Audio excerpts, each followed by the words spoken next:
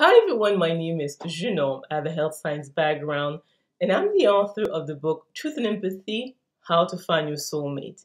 And I'll put a link to the book below.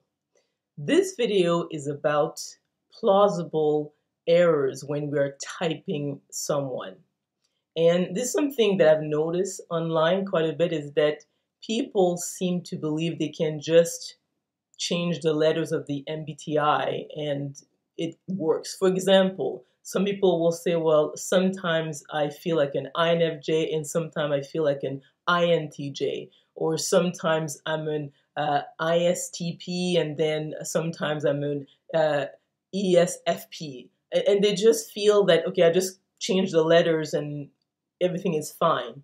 First of all, we're looking at brain types. People have stable brain types. It's rare that someone can change unless uh, again I've mentioned in my other videos you go through near death experience or uh, you meditate for you know ridiculous number of hours every day for 20 years or sometimes you know I, I heard that that's very rare that someone you know got in line and just got hit by lightning I mean there are some exceptional uh, cases but for easily 99% of people the brain type that you had when you were born, you're probably going to have when you pass away. So, I just want to talk about the logical errors when it comes to personality type so that you can understand what we mean. So, when it comes to the MBTI, there are four letters. Let's say if someone is an ENFJ. So, when it, you have to focus on the functions. The functions will let you know if uh, your personality type makes sense.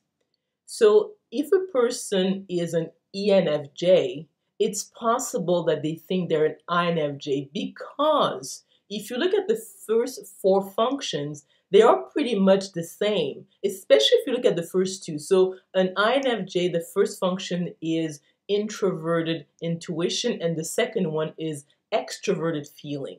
Whereas with an ENFJ, the first function is extroverted feeling, and the second function is introverted intuition. So that is a logical uh, error that you think you're the uh, extroverted version versus the introverted version of a type because they're very much similar. And if someone you really sit down and, and look at the, the subtleties, you can mistake one for the other.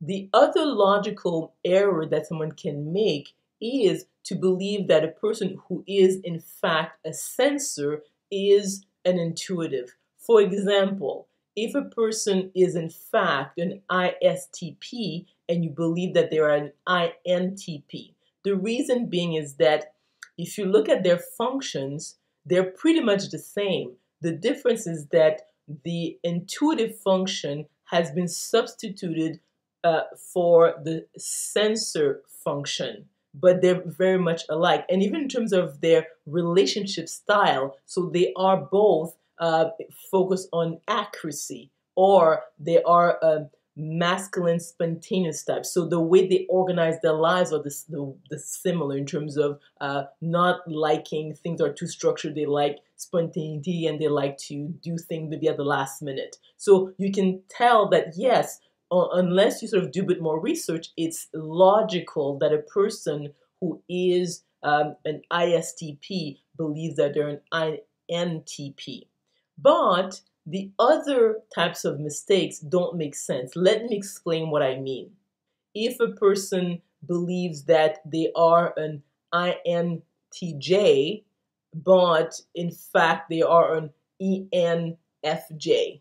So uh, the fact that they are both intuitives and they're both uh, judgers doesn't mean you can just switch things around because when you substitute, if you like look at the last two letters of an MBTI uh, type. So let's say you have like an INTJ, the T and the J, if you substitute any of these two last letters, you see a totally different type.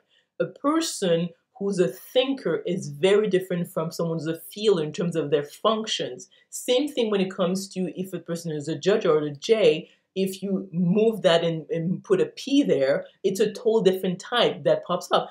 So much so For example, if someone thinks that they are an uh, INFJ, but in, in fact they're an INFP, just the fact that you changed uh, the J for the P, you have a totally different function when you look at the first four functions of the type. Like if you compare the INFJ to and the INFP. So it's not something that you can just mix and match whenever you want, or in some situations uh, I function like this type, and other situations I function like the other type. Or when I was uh, a teenager, I was that type, and by adulthood I have a different one. No, people have stable brains, and un- unless something dramatic happens, they just are the same throughout their lifetime. I mean, they, there's a mild adjustment that can be made, but I've not seen anything dramatic so far in my life when it comes to personality types. So, to summarize, when it comes to uh, logical errors, when typing a person, the first two letters, yes, can be substituted, but the last two cannot because you bring up uh, just totally different functions and also different order of these functions.